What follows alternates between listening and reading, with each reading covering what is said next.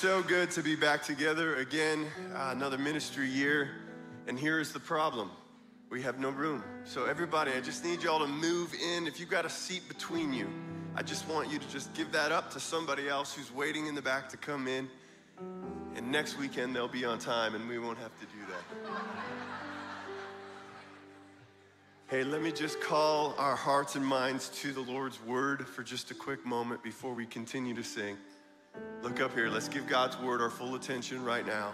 It says this Oh, come, let us sing to the Lord. Let us make a joyful noise to the rock of our salvation. Let us come into his presence with thanksgiving. Let us make a joyful noise to him with a song of praise. For the Lord is a great God and a great King above all gods. In his hands are the depths of the earth and the heights of the mountains are his also. The sea, it is his, he made it, and his hands formed the dry land. Oh, come, let us worship and bow down. Let us kneel before the Lord our God and Maker. For he is our God, and we are the people of his pasture, the sheep of his hand. I don't know about you, but I want to worship the Lord with my whole heart. Like I didn't I didn't sign up for Jesus just to kind of show up to church hands in pockets and just kind of sing where I feel like I want to sing. I signed up for Jesus because I believe he is it. He's the only way that my life will ever count for anything. And so when I sing, I want the song that is in my heart that He's put there to be propor- proportionate to the salvation in which He saved me, right? So when we sing, we call on the Lord like the psalmist. He's reminding us, come, Remember all the benefits you have in Jesus. Christian, remember what He has saved you from, and then worship Him. Don't just sing a little, sing with all your heart, with your whole heart, your whole mind, your whole soul, with all your strength. The Bible calls us to that. And we can know that His Spirit that is sealed within us will give us the strength to do just that. So let's do that through this song together. We want the Lord to have our whole heart, a holistic view of worship before the King knowing that He hears every word. Let's lift this up to Him.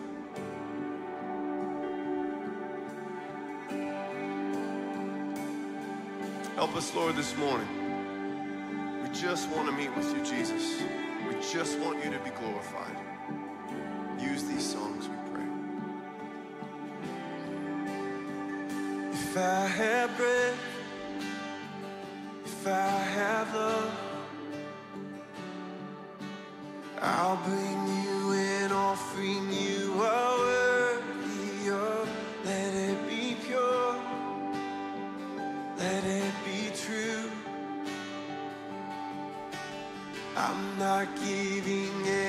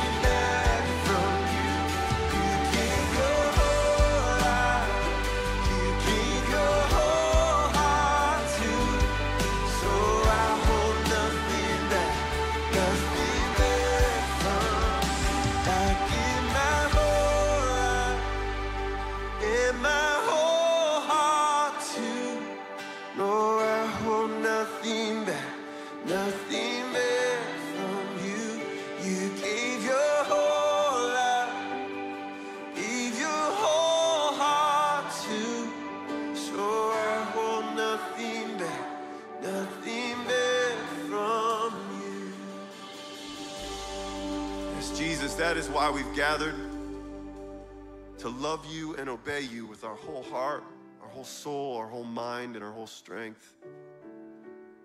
And Lord, you use these songs as ways just to remind us of how good we have it in you, the blessings that you have poured out, the characteristics of the God we serve. How could we not love you more? How could we not want to surrender again to the will of Jesus Christ? Would you, Spirit, do that work in us today? Would you give us just such a passion and love and desire to see the kingdom of God advanced and the glory of God to be made known in and through each of our lives? Meet with us today, this morning. May your word be proclaimed and may our hearts be changed because of it. In Jesus' name, amen. Amen. All right, let's be seated together. Amen. Well, good morning, Christ Church. And I am just going to reiterate what Josh said as he was playing. If there are some empty seats near you, scoot in toward the middle. This is like an overbooked flight. You know how they come on and they say, every seat is full. So let's scoot in, make sure that any seats that are available are available to people who are waiting for seats. Well, it is awesome to see all of you as we all kind of come back from being gone over the summer and we all gather back together. It's so encouraging to gather together like this. And if if you are a part of our church family, you know what to do, or maybe you've been gone all summer and so you've kind of forgotten this part of the service, pull out your phone and go to the Christ Church app and go to the dashboard where you can fill out the communication card. Let us know that you are here and let us know how we can be praying for you. But while you're in the dashboard, because we're getting rolling into the fall, there are going to be all kinds of things in there that are curated for you of ways that you can get involved more at Christ Church. So be sure to look through that app and see all those opportunities.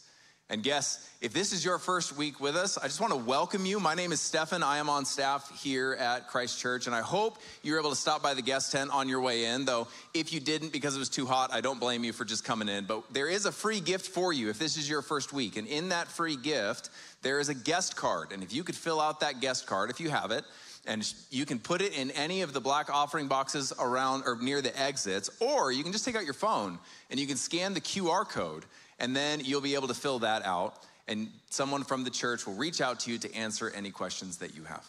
And if you're joining us on live stream, I want to welcome you as well. And if you're a part of our church family and you're just not able to be with us this weekend, we're so glad that you can at least join online and we look forward to seeing you in person very soon. But if this is the first time that you're engaging with Christ Church, you can text get info to 94000 and someone will reach out to you to answer any questions that you have. And as we are rolling into the fall, if you've been here for a little while and you want to get involved in deeper discipleship at Christ Church, you should attend our next Consider, which is happening next weekend, the 12th and the 13th. One is happening after the Saturday service, and the other is happening during this service over in the Connect Room. And this is a time where you're able to ask questions, talk to leaders in the church, hear about the church, and ways to get involved more. So if you would like to attend that, consider. Be sure to RSVP on the app. Let us know that you're coming so that we can be ready for you. If you have kids, that's okay. They can stay in the kids' ministry and they will be well taken care of over there. And you can learn how you can get involved deeper at Christ Church. And for all of us, whether you've only been here for a few weeks, or maybe this is your first week, or you've been here for 10 years, our ministry kickoff is starting next week, where we are launching all of the various discipleship opportunities in the church. We have studies, we have soul care groups, we have community groups, including our very first Spanish speaking community group. So there are opportunities for you to engage in deeper discipleship this fall. And if I can just implore you, whether you have engaged in discipleship before or you've never really moved beyond a weekend service in your involvement at the church, let me just implore you let this season be the one where you push forward in your discipleship by getting engaged in studies, community groups, and soul care groups. Well, our last announcement this morning is for our City Hope Center. And the item of the month for City Hope is toothbrushes and toothpaste both of them because one is not very helpful without the other. So, we want to make sure to bring toothpaste and toothbrushes and drop them off in the City Hope donation bin in the lobby so that those in need can get what they need. So, next time you're at the grocery store, remember this grab a few extra and bring them the next time that you're here so that we can continue to support the work at City Hope.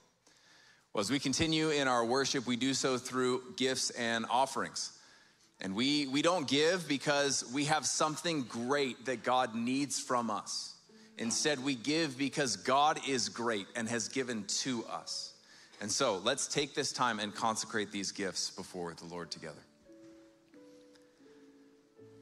God, we thank you that you are not a God who is distant and unknowable. You are a God who is near. And you are not a God who takes, but a God who gives. And so, Lord, as you have given so richly through the finished work of your Son Jesus, reconciling us to yourself and changing us by your Spirit within us, would you conform us to the image of Christ, who gave of himself that we would give to your work in this world? for your mission, for your glory, all for the sake of your Son, Jesus. Amen. Let's stand together as we continue in worship this morning.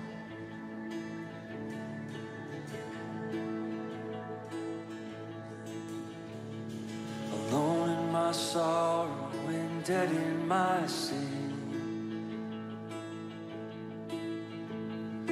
Lost without hope, with no place to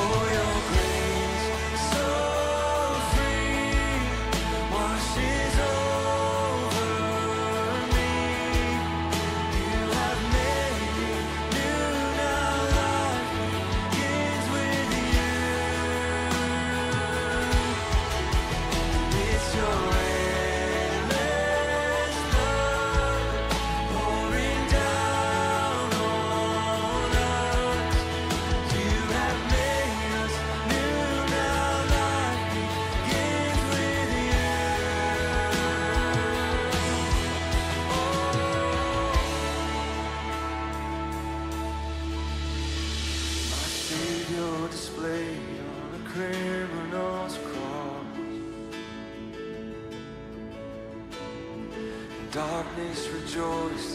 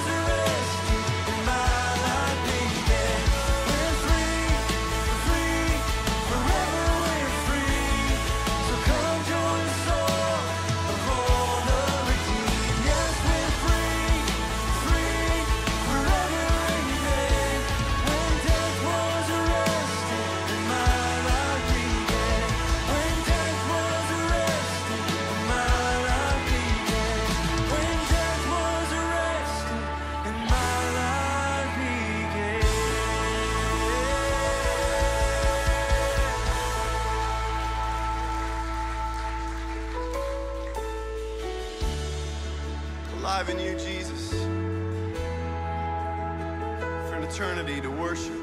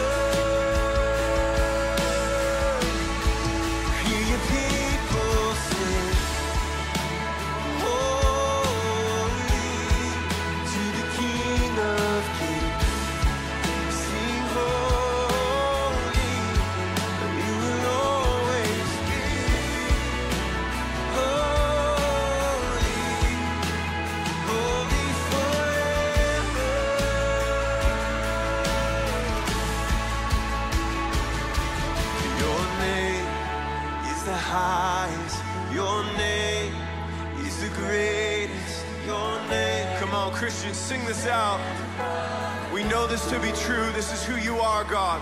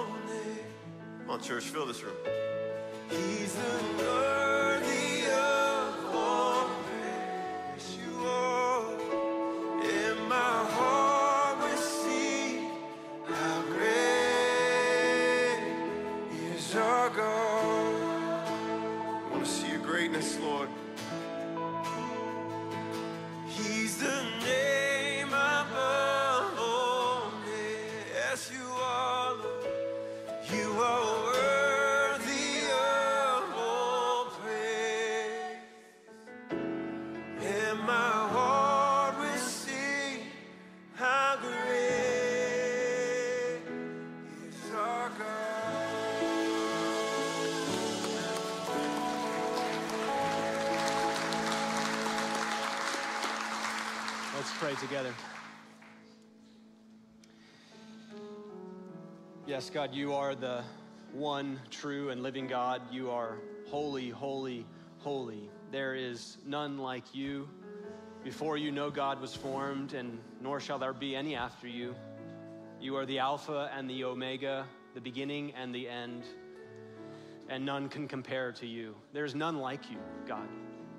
And so when we come this morning and as a body we lift our praises and our worship to you, we do so because you are worthy of our worship. You are holy in every way. You are, you are pure in every way. There is none like you. And to think that you would condescend to come to us and to see us in our hopelessness and to see us in our sin and to not leave us there, but to, to win our salvation for us, to ransom us from the slave market of sin and to make us your sons and your daughters and to put your spirit within us and to give us the promise of heaven. God, you have richly blessed us. And so we come with hearts that are full of gratitude and full of praise. You deserve our worship. And now, God, as we turn to your word, we pray that you would open our eyes to behold wonderful things from your word. God, that you would show us what is in our heart, that you would lead us to life and to peace in you.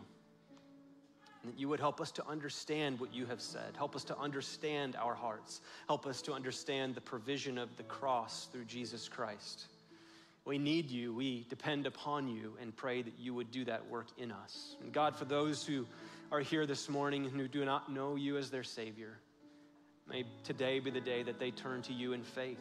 May today be the day that they recognize that they need you, that they need forgiveness of sins that they need a restored relationship with you, their Creator. Do that for your glory this morning. God, we depend on you for all these things, and we pray in Jesus' name. Amen. Oh, you can go ahead and grab your seat. Well, welcome to Christ Church. We have been blessed already by the, the truths of the gospel that we have sung and that we have prayed together. And uh, now, as we open our Bibles and we sit under the ministry of God's Word, we will continue to dwell on those same gospel truths. If you're new here, uh, welcome to Christ Church. My name is Jared, and uh, we're glad that you have joined us for worship this morning. And uh, our lead pastor, Adam, has been on sabbatical this summer, but uh, rumor has it that he has begun the process of re entering Earth's atmosphere. And uh, there have even been some sightings of him. But we're excited to have him back in the pulpit next weekend as we kick off our ministry year. But today, we are going to conclude our series in the book of Revelation, chapters 2 and 3. This summer, over the last couple of months, we have been studying the seven letters to the churches in Revelation 2 and 3. And today, we come to the final letter, the letter to the church in Laodicea. And so, if you have your Bible, you can go ahead and open it up now to Revelation chapter 3. If you don't have a Bible, there should be one under a seat nearby you, and you can grab that one and head to page 967. That's where you'll find Revelation 3. And if you don't own a Bible, please take that one home as a gift from us to you. Uh, we would love for you to have your own copy of God's Word. So, Revelation chapter 3, starting in verse 14 this morning, as we look at this final letter to the church in Laodicea. We'll pick up there in just a moment. Well, I wonder what comes to your mind when you think about the church today and you think about the world that we live in and you think about the challenges and the threats that we face in the world today. And perhaps uh, first you think of the growing secularism that is pushing its way into every corner of our culture.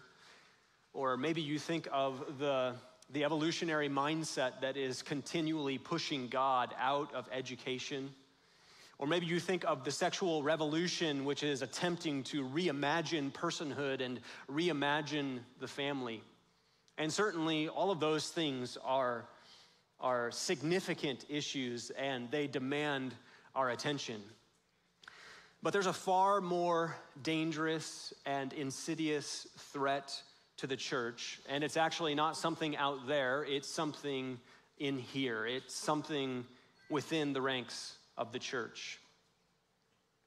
One of the greatest threats to the church today and in every age is the threat of spiritual apathy. What makes apathy so dangerous is that it's a silent killer. It sucks the life out of a church and it does so slowly but surely, almost undetected. It goes by several names complacency, indifference, passivity. But no matter what we call it, it's a serious condition.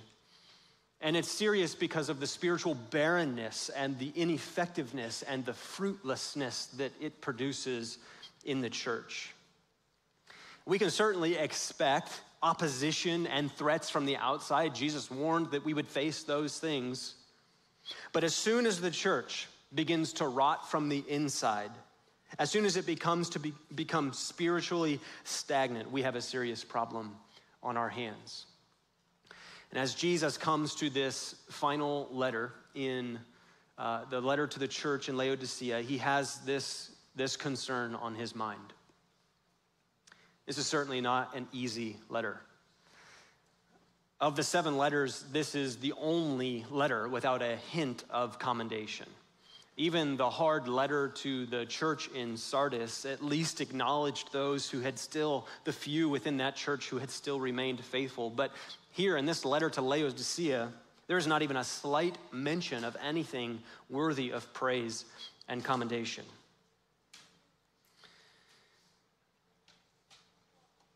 So,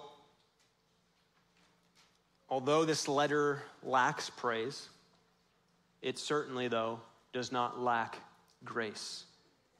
From the beginning to the end, this letter is actually an expression of Jesus' love for the church. It's severe at times, no doubt, but it's ultimately a merciful invitation from the Lord of the church to repent of spiritual apathy and to return to Him and to return to a vibrant and a thriving relationship with Him.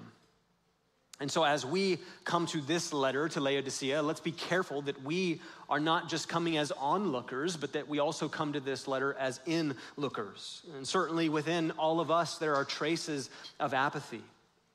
We've all found ourselves in a slump at one time or another. We've all known what it's like to struggle to pray.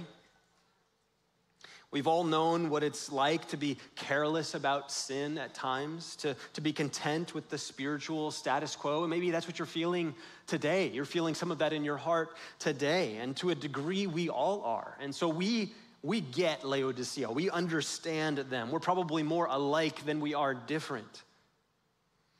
And so, as we consider this final letter, let's consider it carefully. Let's pay close attention to the words from the mouth of Jesus to the church in Laodicea. Let's read the letter together and then we will consider it more closely. Revelation chapter 3, starting in verse 14.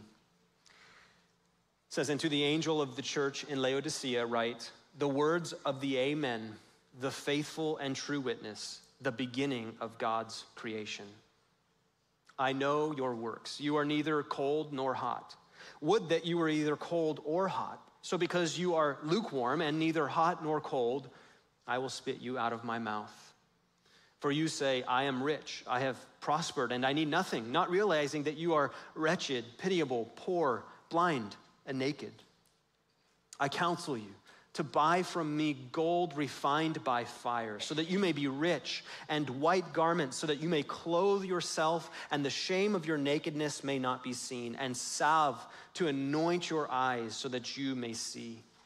Those whom I love, I reprove and discipline, so be zealous and repent.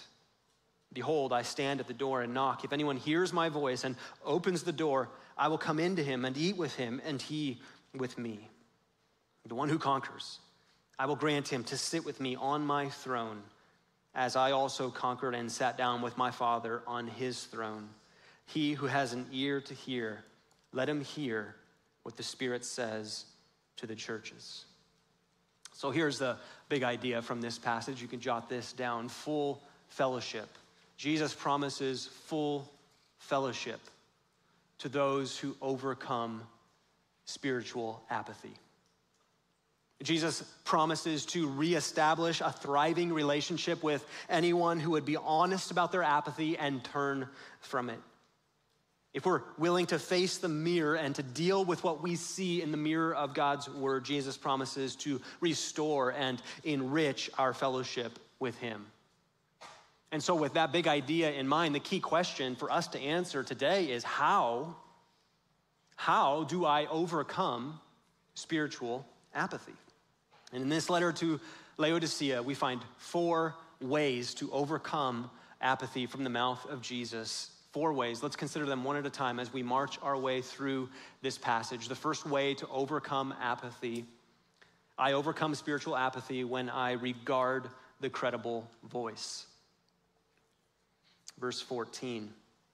Jesus begins this letter as he begins the previous six letters, he begins by identifying himself in a unique way. And what Jesus is doing in each of these letters, when he identifies himself in a unique way, is he's preparing his readers for what they're about to hear from him. He is explaining to them why he is uniquely qualified to deliver the letter that is about to come. And here in the letter to Laodicea, the first thing that he says in this letter is that these words, this letter contains the words of the Amen. Now, we're familiar with the word Amen. It means that we agree with something that has been said. The word Amen isn't just Christian uh, code word for the prayer is over. the word Amen means we agree. Uh, let it be so. May it be. That's what we're saying when we say Amen to a prayer.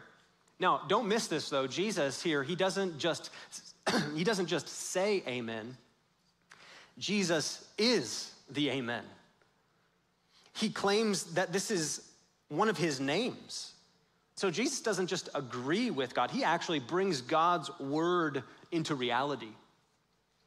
Jesus affirms and certifies the word of God and the promises of God. He validates and he confirms them, which is why Paul in 2 Corinthians 1:20 he says that all the promises of God find their yes in Jesus. And, and then he goes on to say that's why we utter our prayers, our amen through Jesus, is because he is the one in whom we find the yes to God's promises. He laid down his life and he rose triumphant from the grave so that you, as a follower of Jesus, would know that the promises of God will find fulfillment.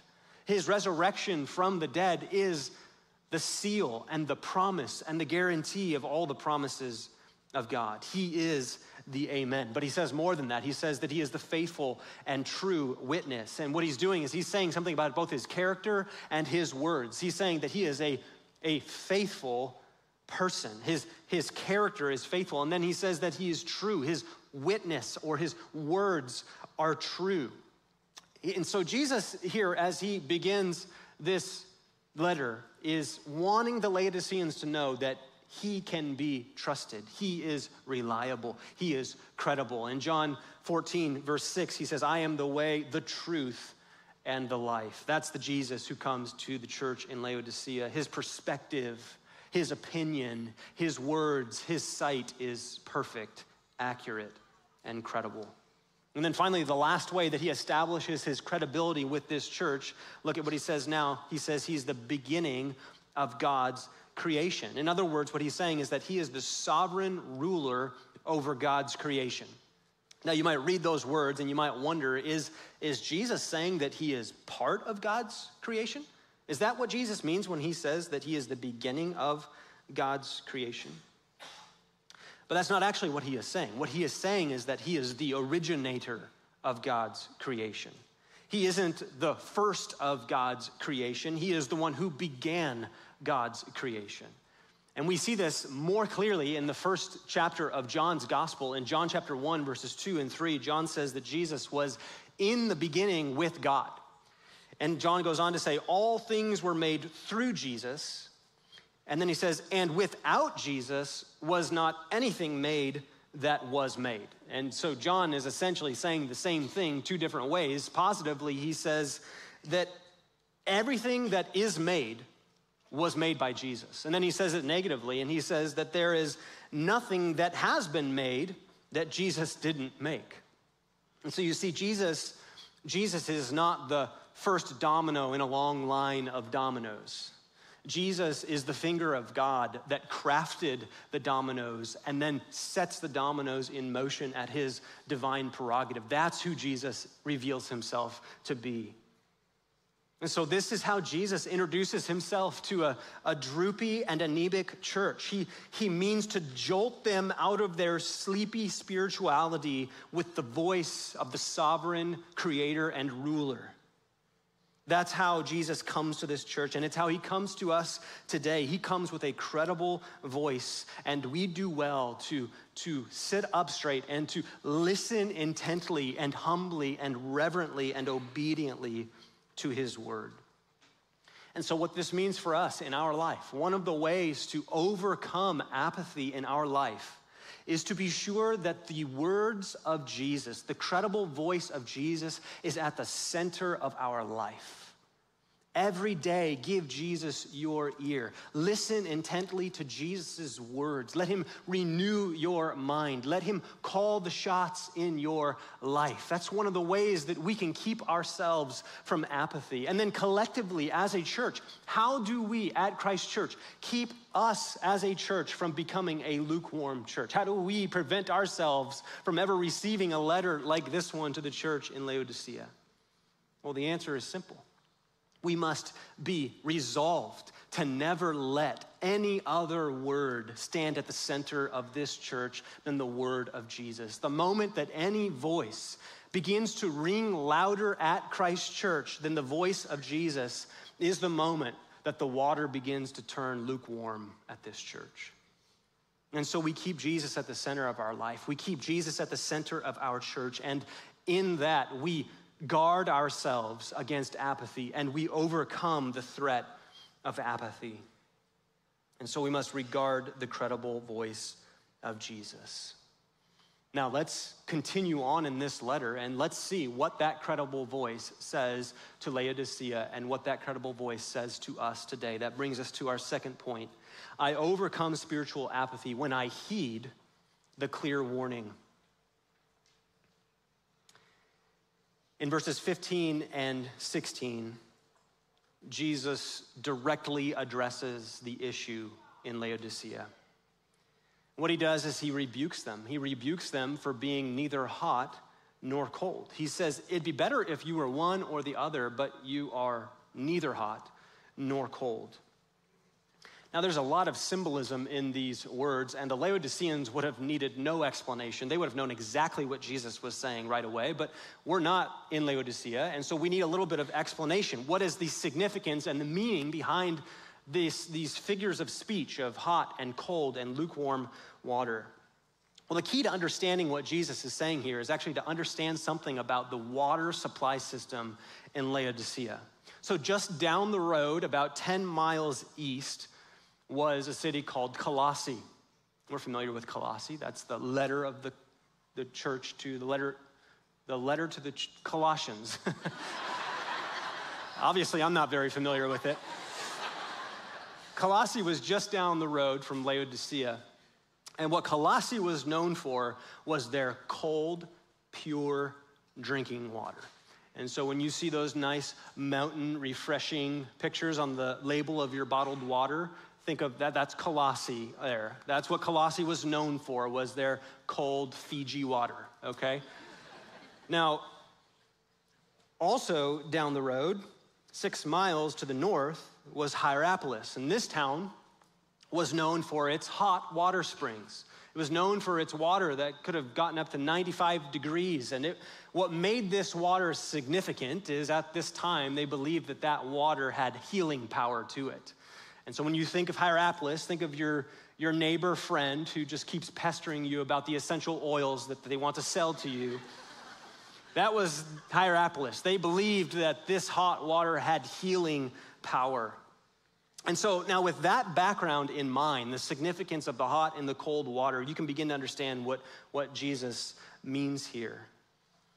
He's saying that the believers in Laodicea should be either like the cold water that brings life and refreshment to the world, or like the hot water that brings healing to the world. They should, they should, their presence should be a faithful presence in the world that brings grace to the world, but instead, Jesus says that they are lukewarm. And they certainly would have understood the point here because of where they were located in that region. Laodicea didn't actually have its own source of water. They didn't have their own water supply. And so they had to bring in the water, that hot water from Hierapolis, they had to bring it into their town by means of an aqueduct. And by the time the water reached Hierapolis, it was dirty and it was tepid and it was disgusting. And that's what they were known for. They were known for having nasty water that people wanted to spit out. I grew up in central California, a town called Visalia, and about 30 minutes west of us was a town called Hanford. And everybody, see, there's a laugh. Somebody knows about Hanford's water. Hanford water, it was known for being disgusting. I played water polo in high school, and we always hated it when we were the away team playing Hanford because we had to go to Hanford and swim in their green pool. Hanford was known for their disgusting water. Well, Laodicea is known for their disgusting water. It was tepid, it was hard, it was dirty by the time it got to them. And Jesus compares their spirituality to that water. Their faith is distasteful and nearly useless. He rebukes them for their lack of zeal, for not offering life and healing to their community. He, he rebukes them for the spiritual barrenness of their church.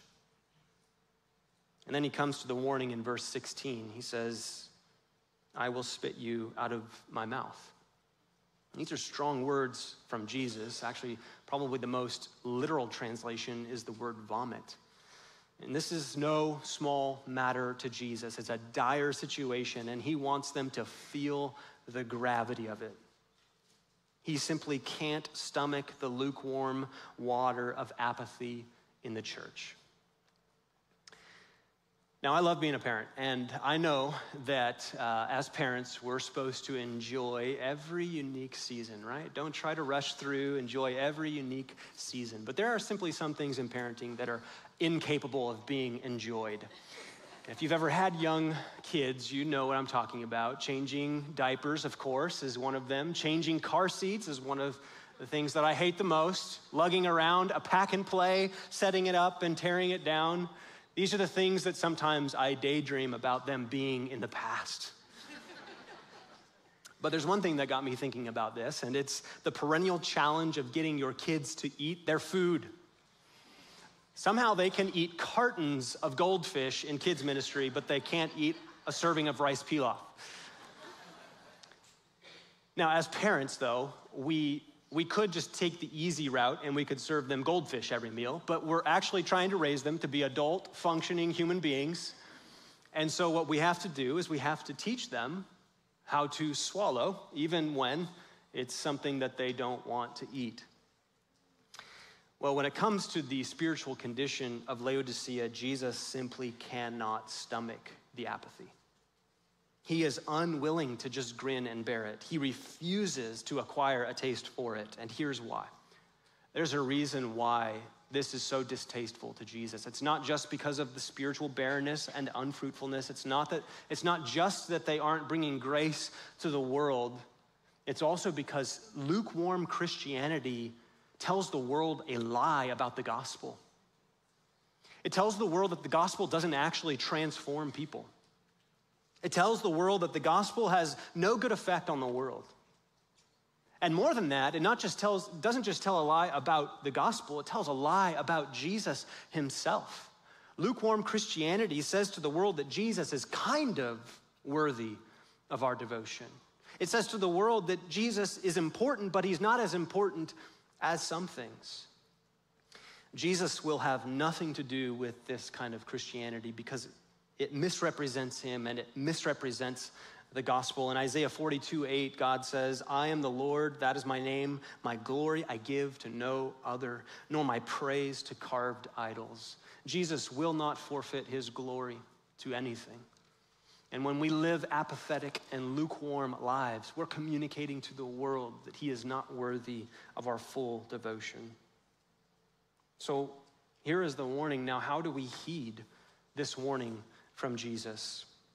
Well, one day that we heed the warning from Jesus is we redeem the time.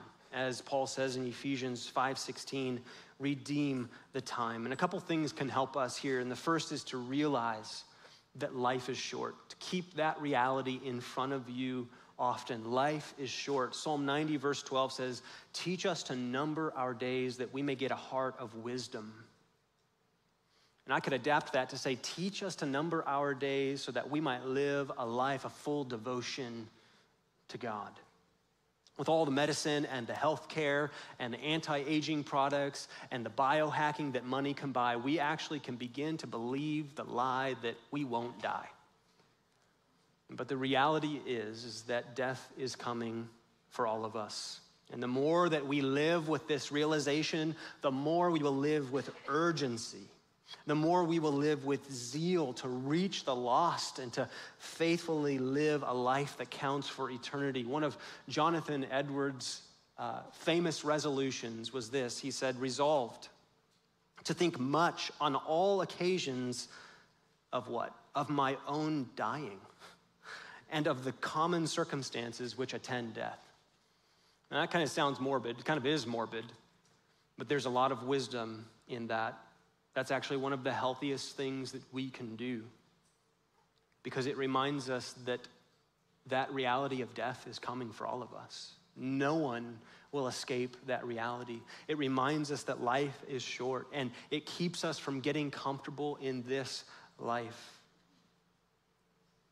And so, this is one way to fight apathy and to fan into flame a passion for the work of the Lord. Another way that we can fight this is to, to remind ourselves that Jesus is coming soon. Jesus actually did this for the church in Philadelphia last week. We studied that letter. Jesus reminded them he is coming soon. And what that was meant to do for them and for us and for all Christians of all ages is it's meant to it's meant to instill in us urgency. It's meant to radically impact the way that we live. Jesus intends for us to live with urgency and determination. We don't know when he's coming back, but we do know that he is coming back, and we want to be found serving him faithfully and tirelessly, seeking to win the lost and bringing grace to this world. Amy Carmichael was a missionary to India for 55 years, and she said this She said, I would rather burn out than rust out. Jesus is coming soon. May we be busy reaching the world for Him and bringing grace to the world while we await His return. Now, let me speak a quick word before we move on to those who are here today and they don't know Jesus as their Savior. Although this is primarily a warning to God's people, there's also a word for you in this passage as well. Every moment that God gives you in this life is a moment of mercy.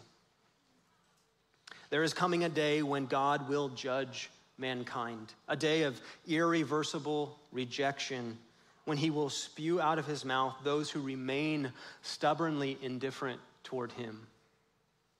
But, dear friend, That day has not yet come. And if you will heed the clear warning of Jesus, bow your knee to him and repent of indifference and apathy toward him, and humbly receive him as your Lord and Savior, the promise of the gospel is that he will have you, he will save you, and he will give you a heart that burns with passion and zeal for him. Today is the day of salvation. Turn to Jesus, find life in him before it's too late. Now let's move on to our third point. Those who belong to Jesus, they can overcome apathy by regarding his credible voice, by heeding his clear warning. And now, third, I overcome spiritual apathy by accepting the generous offer. When I accept the generous offer. In verses 17 through 19, Jesus he corrects their delusional thinking in these verses, the, the delusional thinking that had led to apathy, and then he makes a generous offer to them that they would be foolish to refuse. The first thing he does is correct their thinking. Look at verse 17. He says, For you say, you say, I am rich, I have prospered, and I need nothing, not realizing that you are wretched, pitiable, poor, blind, and naked. Now, Laodicea was no doubt a prosperous city. They had three lucrative industries in Laodicea wool, medicine, and banking. And through these industries, they had become one of the wealthiest and one of the most important commercial centers in that region. But see, the problem in Laodicea was not actually their wealth. The problem is that they had become self sufficient in their wealth. They took their business success to be an indication of their spiritual well being. And when they stepped back and they looked at their life and they saw everything that they had and the money that they had, they stepped back and they thought, we're doing all right. And that bred indifference and apathy in them. But Jesus, Jesus actually sees things differently. He says that spiritually speaking, he says that they are wretched, pitiable, poor, blind, and naked. You see, they were, they were confused. They had confused their material wealth for spiritual health. And when we confuse things that are similar but radically different, the consequences can be significant. If you're an amateur in the kitchen like me, then you've probably had the experience of reaching for baking powder and instead grabbing baking soda. and that's one quick way to ruin your cinnamon rolls. You might reach into the cupboard, the medicine cabinet, and grab a bottle, but if you grab the wrong one, it can have detrimental consequences. Well, the Christians in Laodicea made a tragic mistake. They thought that their material wealth was an indication of their spiritual health. They had begun to confuse financial position and spiritual condition. And what happens when you make this mistake is that life begins to become more pragmatic than spiritual. Life begins to become a pursuit of more comfort in this life rather than a deeper spirituality and love for the Lord. Life becomes more about material gain than about spiritual depth. And when this happens, you have a recipe for a serious spiritual problem. You have a recipe for apathy and stagnation. And so, what does Jesus do to help? Laodicea? What does he offer them to clear up their confusion and to root out their apathy? What Jesus does to Laodicea is he actually he holds out to them and he offers them true health, wealth, and prosperity. He helps them to turn from the counterfeit by offering the real thing. And in short, what Jesus does is he offers himself to them. Verse 18, he says, I counsel you to buy from me gold refined by fire so that you may be rich and white garments so that you may clothe yourself and the shame of your nakedness may not be seen, and salve to anoint your eyes so that you may see. During my college summers, I had the distinct honor and privilege of being a Cutco knife salesman. If you've ever received a call from a young, ambitious college student and he wants you to give him an hour of your time so he can do a knife demo because he knows your friend's coworker's friend, I'm sorry, I was one of those guys. But one thing that I learned in my summer of selling Cutco knives is that if you want to be a successful salesperson, you have to believe in what you're selling. You have to believe that you actually have something of value. If you don't believe that you actually have something to offer, then they're not going to believe and they're not going to buy. Now, I hesitate to compare Jesus to a salesman, but make no mistake, Jesus is selling in verse 18. He says, I counsel you to buy from me. He has assets of infinite value, and they are available to whosoever will come and take them. He wholeheartedly believes in what he is selling. He knows that these things are exactly what his people need and that they are far better than anything that this world can offer. What he offers them in this passage is he offers them the spiritual counterpart to those three lucrative industries. He offers them the spiritual counterpart to their wool and their banking and their medicine. He says, You think you've got bankroll? Buy from me the true riches of pure joy that are found in treasuring me and prizing me and loving me above all else. You think that your medicine and eye salve give true healing? Buy from me salve that will heal your blindness and will give you eyes to see things that bring lasting transformation and true healing. You think that your wool is all that you need? Buy from me the white garments of my righteousness to cover your shame and your spiritual nakedness. That's what Jesus is offering to him and to them. Now, there's a, there's a paradox here in this verse, though. Jesus has just said that the Laodiceans are poor, but now he, he counsels them to buy from him gold. Now, how, how does that work? And the answer lies in the fact that, that God's economy is different. In God's economy, the only currency that matters is need. One commentator says the coin of the realm is desperation. We don't pay him out of our resources, but from an acknowledgement of the depths of our abject poverty. The price God requires is that faith in Him, which humbly concedes that one has nothing with which to bargain, nothing with which to trade, nothing with which to make so much as a meager down payment. Now, maybe this reminds you of one of the most beautiful invitations from God in the Bible Isaiah 55, verse 1. God invites his people. He says, Come, everyone who thirsts, come to the waters. And he who has no money, come buy and eat. Come buy wine and milk without money and without price. The only currency that counts is need. The coin of the realm is desperation. Now, I, I hope that that you hear in this passage, although this is a hard letter, I hope that you hear the love of God in this. God loves his people enough to say hard things and then to call them back to himself, to woo them back to himself. He says in verse 19, Those whom I love, I reprove and discipline. So be zealous and repent. He wants nothing more than what is best for them. And that's why he's willing to say the hard thing to call them out of lethargy and into a vibrant life of zeal and passion for him, a life of diligence and wholeheartedness. This is the good life. And Jesus knows it, and he will stop at nothing to see that his people experience it. Now, what does it look like to accept this generous offer?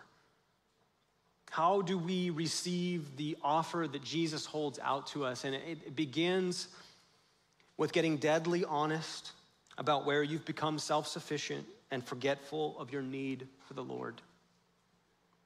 And then, in a recognition of that, then resolving to live in constant and desperate dependence on Him.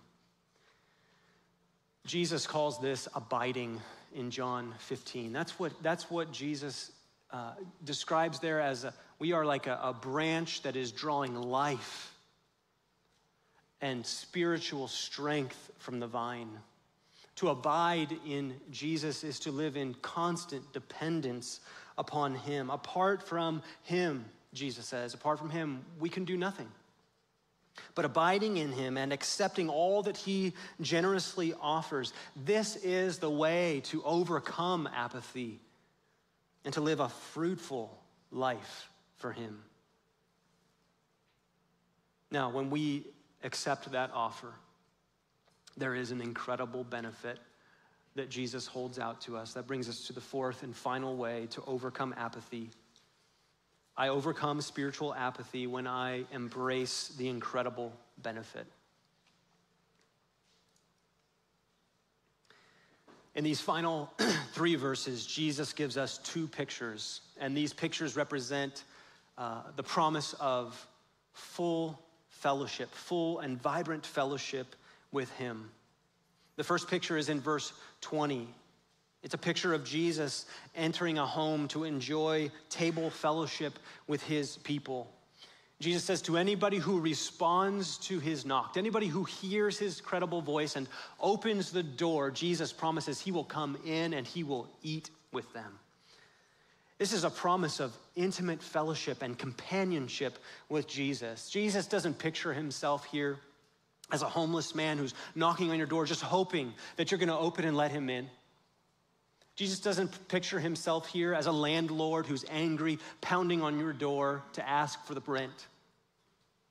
Jesus presents himself here as a friend to his people, a friend who hasn't heard from his people in a while. They've stopped returning his call.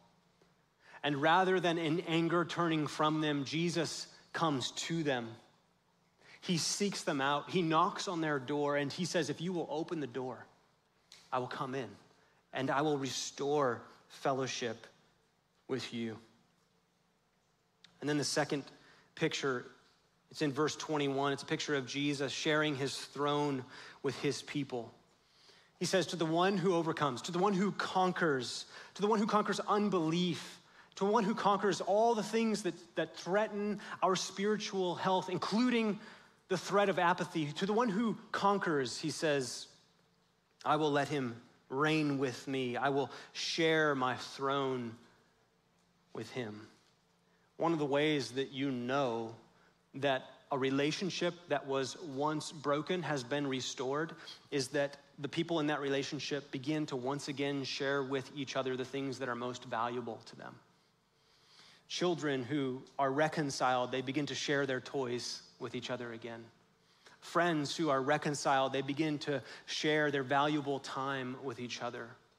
Spouses who are restored to each other, they begin to share themselves with each other again. And here, Jesus promises to those who conquer and overcome all the spiritual assaults of this world, he promises to share his throne with them, to let them co reign with him just as he reigns with his Father. And so, what these two pictures of the table and the throne represent is they represent the incredible benefit of fellowship with Jesus.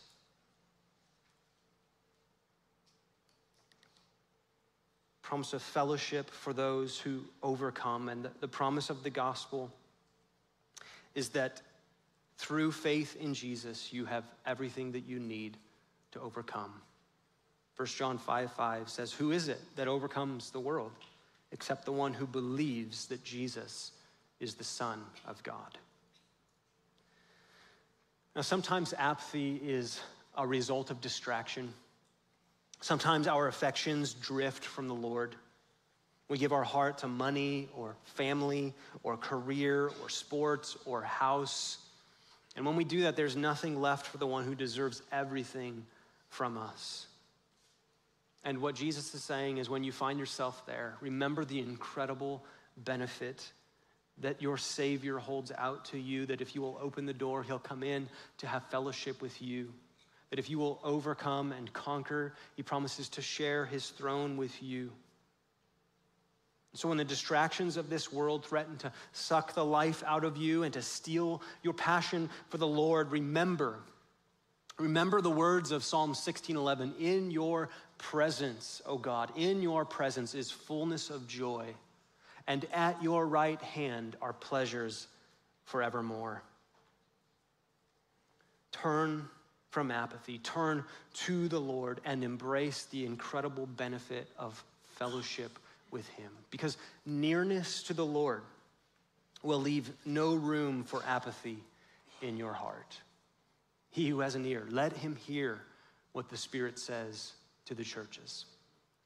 As I came in yesterday, God put a song on my heart. It's an oldie but a goodie, and I hope we'll never stop singing this song. You guys know this song. Give me one pure and holy passion. Give me one magnificent obsession.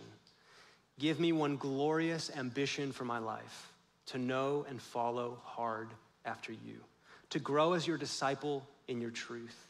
This world is empty, pale, and poor compared to knowing you, my Lord. Lead me on, and I will run after you. God, I pray that you would lead us on, that you would draw us back into fellowship with you.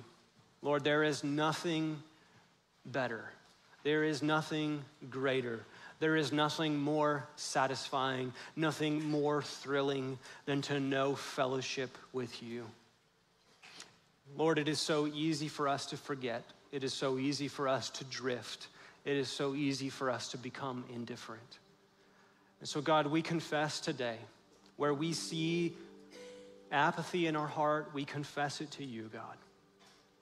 And even as we confess it, we take great comfort and delight in knowing that you are a God who forgives and you are a God who restores. And so we pray you would restore to us the joy of our salvation, restore to us a right spirit within us, restore to us passion and zeal for you. Lord, this is what we want. Would you do that in us? We know that we desperately need you to do it. We depend upon you. Give us the strength to repent and to be zealous. And we pray this in Jesus' name. Amen. Well, one of the reasons why we can gladly and willingly lay down our lives for Jesus is because Jesus first laid down his life for us. And so, this is an opportunity now as we share in the bread and the cup to remember the finished work of Jesus on our behalf. Our team's going to go ahead and start serving the elements now. There's two cups. Be sure you take both cups. The bread is on the bottom, the juice is on the top. And what this is, as we take the bread and the cup, is an opportunity for us to remember what Jesus did. It is so easy in the distractions of this life to forget. There's nothing more important than the gospel, nothing more important than the cross, but it's easy to forget. And so the bread and the cup bring us back and they remind us of what Jesus has done on our behalf. It's also an opportunity for us to repent, to turn from sin. The cross and the blood broke the power of sin in us. So we have the power within us through the Spirit of Jesus to turn from sin. So this is an opportunity to resolve in our heart to turn from sin, even as we rejoice because we know that the work is finished. We know that there's nothing that we have to do to add to the work of Jesus. When he cried out, It is finished, he meant for us to hear those words and to rest in those words. So, as the, the team sings over us, let's reflect on the work of Jesus on our behalf.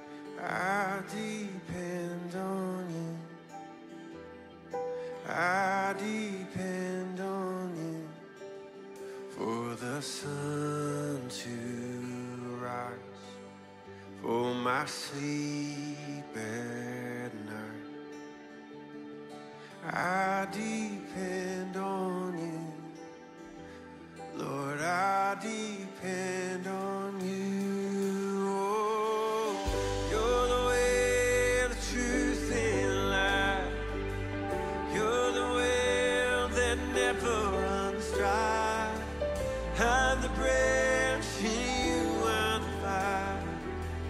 Draw me close.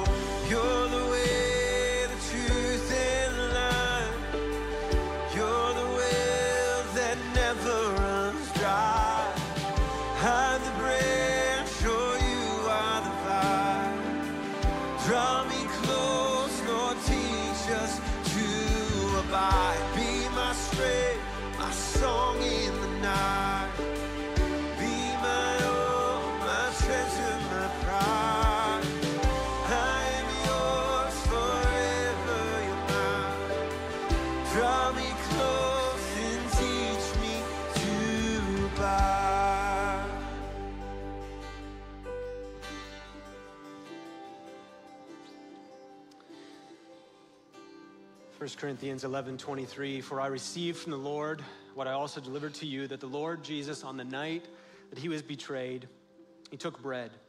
And when he had given thanks, he broke it and he said, This is my body, which is for you. Do this in remembrance of me. Let's eat together.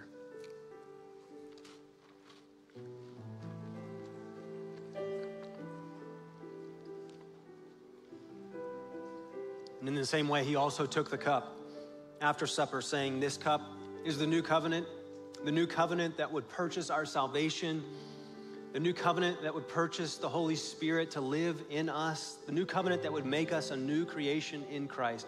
This is my blood. This cup is the new covenant in my blood. Do this as often as you drink it in remembrance of me.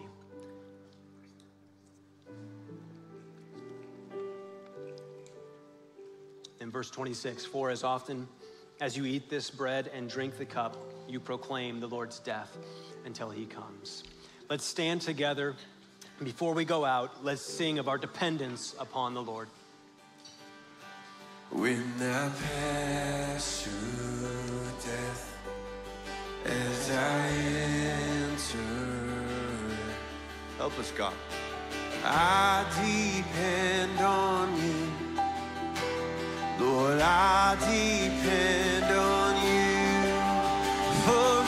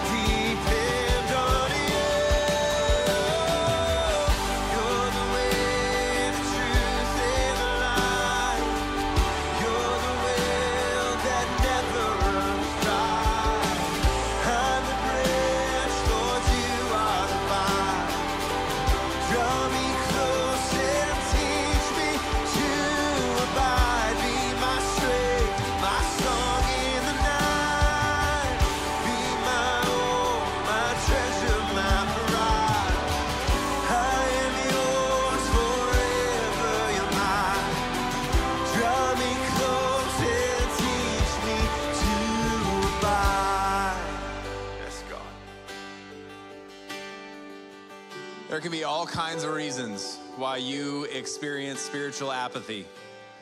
Maybe you're experiencing spiritual apathy because you've never actually put your trust in Jesus Christ. You are not walking by faith with Him today.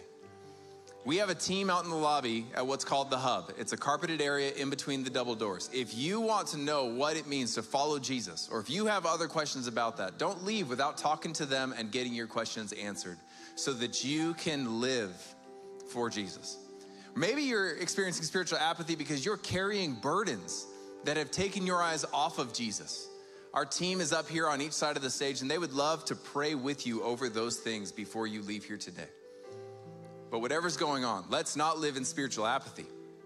Let's conquer in the name of Jesus by the Spirit of God in us as we live with